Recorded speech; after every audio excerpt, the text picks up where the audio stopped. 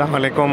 आज जुम्मे का दिन है और बड़ी खुशाइन बात है। रजब का महीना है। हम, हम बड़ा खुशी है कि हज़रत मौलाना बशीर फ़ारूकी साहब ने आके हमारे ये मली टाउन रेसिडेंसी फ़ेज़ वन में ओपनिंग की है मस्जिद की।